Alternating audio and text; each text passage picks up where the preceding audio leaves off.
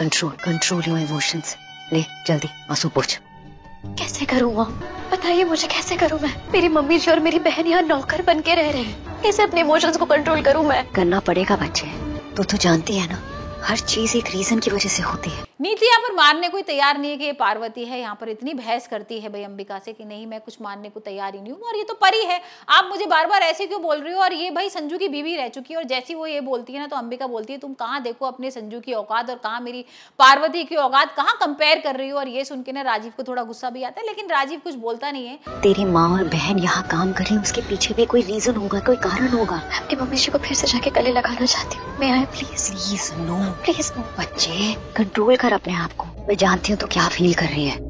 लेकिन यहाँ हम देख रहे हैं कि भी अंबिका इतनी गुस्से में आ जाती है कि वो डील कैंसिल कर देती है और बोलती है कि अब मुझे करना नहीं है। मुझे इस लड़की की वजह से ना मैं डील कैंसिल कर रही हूँ और मुझे कोई मतलब नहीं है तुम्हारे परिवर्तन से। अब वो जैसे ही आने को होती है ना राजीव उसे पीछे से बुलाता है और बोलता है सॉरी मैडम मेरे से गलती हो गई। और यहाँ पर परी को भी बोलता है कि गलती होगी पार्वती मैम मैं आपको पार्वती बोलूँगा आपको परी नहीं बोलूँगा। पर अभी ऐसा कुछ मत करना जो तू बाद में रिग्रेट करे बच्ची please come so far. You have to be strong बच्चा। अभी रोने का टाइम तेरा नहीं है। रोने का टाइम तो उन लोगों का है। इसलिए तो बिल्कुल भी डर मत घबरा मत बच्चे। I am there for you लेकिन आप मुझे ना एक बार मेरी आँखों में आँखें डाल के बोलो कि आप पार्वती हो और पार्वती वही करती है यहाँ पर बोल देती है कि भाई मैं परी नहीं हूँ पार्वती हूँ।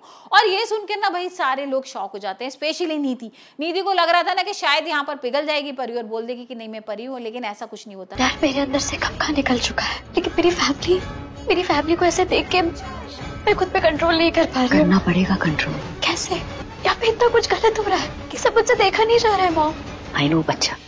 वही हम देख रहे हैं दूसरी तरफ़ कि भाई जो राजीव है ना वो उसके लिए फेवरेट पन्ना बना के लाता है आम का पन्ना जो उसको बहुत पसंद है।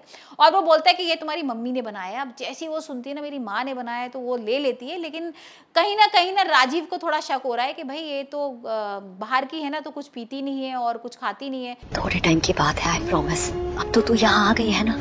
धीरे धीरे वापस सब कुछ बिल्कुल वैसे होने लग जाएगा जैसे जैसे तू चाहती है। ये तो बहुत ज़्यादा चाइनीज़ और वो सब खाती है और उसने मना भी कर दिया ना कि मैं मीठा नहीं खाती हूँ। लेकिन यहाँ पर माँ के बने हाथों का पन्ना ना वो पी लेती है और भाई अचानक से माँ भी आ जाती है। मतलब नीति अब चालों पर चाल चल रही है।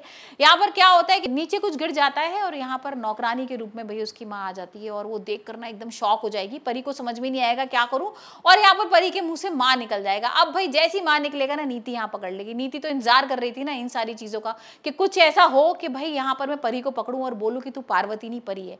और यहाँ पर वही होता है, उसकी माँ आती है और माँ को देख के वो इमोशनल हो जाती है। तो देखते भाई, आने वाले एपिसोड में क्या होता है, क्या परी पकड़ी जाएगी, या फिर यहाँ पर भाई परी कोई नई चाल चलने वाली है, क्योंकि हम प्रोमो देख रहे थे ना कि परी एक नई चाल चलने वाली है और वो नई चाल क्या है नीति के ऊपर, ये तो आने वाले एपिसोड में ही देखेंगे।